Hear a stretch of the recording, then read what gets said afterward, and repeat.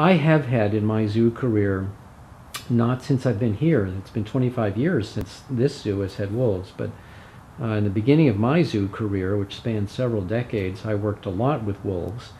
Um, not in a way that we would do it now, because we we slowly learned that it's better to leave the animals to interact with each other than with us. But I developed a lot of very close relationships with wolves that I was taking care of at the zoo that I was working at.